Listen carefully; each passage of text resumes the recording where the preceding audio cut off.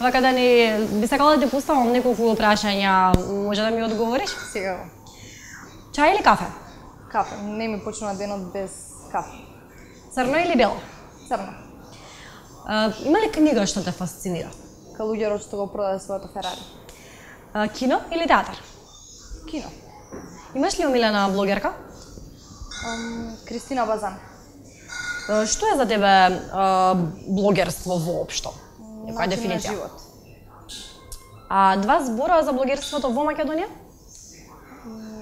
Па ќе бидат повеќе од два. А, експеримент и се повеќе урбани луѓе. А што е за тебе мода? Мојот живот. А, Дали на чиј стил му симнува шапка? Дефинитивно Ријана. Мислам дека не постои звезда што повеќе експериментира со стилот, а тоа да изгледа секогаш средено и мислам дека е number one. Дали имаш омилена светска дестинација? Па би го издвоила Париз. А, имаш ли фетиш кон нешто? Па да, кон винтич облека. А дали си колекционер на нешто? Не. Имаш ли омилена песна? Uh, This is what you came for од Келвин Харис и Ријана. Тоа ми е хитот на лето. Омилена храна? Кинеска храна. Омилен пијалок? Пијалок, uh, па ќе кажам кафе, пак затоа што денот не може да ми започне. А омилен десерт? Рафаело. Дали би да замолила да ни направиш неколку аутфити од исичаци од весници и ќе бидеш любезна? Секако. Повели.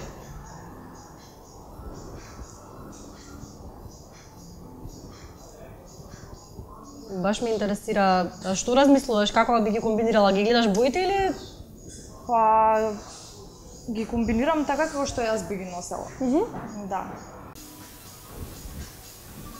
Вака нешто би било. одлично, супер. А, дали кои се најдобрите три манекенки според тебе? А, Джиджи Хадид, Кендал Дженер и Миранда Кер. А во која облека ти е најудобно? Во моите свилени пижами. А колку често купуваш чевли? Па, во секоја сезона сигурно купувам по пар или два. А Дани, а што мислиш за трендсетовските бои? Па, не се ограничувам со трендови. Не верувам слепо на трендовите. А која ти е омилена боја?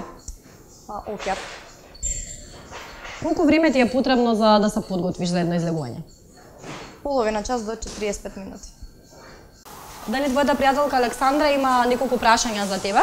А, би сакала да ги одговориш, ке може? Сега. Еве вака направи едно видео, погледни го видеото право за дали Денски имам прашања. Дали го сакаш Скопје?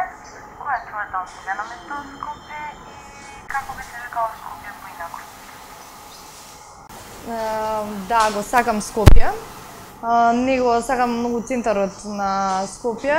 Омилено место за излегување со другарките ни е дефинитивно Кино Карпош. А доколку би требала Скопје да го наречам со друго име, тоа би бил град на гужвата.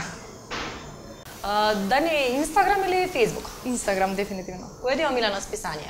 Вог. Имаш ли омилен филм? А, The Devil's Wears Prada. А омилена ТВ серија? Sex and the City ја имам гледано многу пати и мислам дека никогаш нема да ми стане досадно.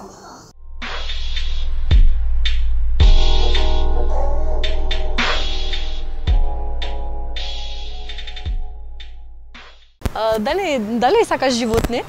Да, многу сакам. Мислам дека нема нешто помило А кој ти е омилено животно? куќа.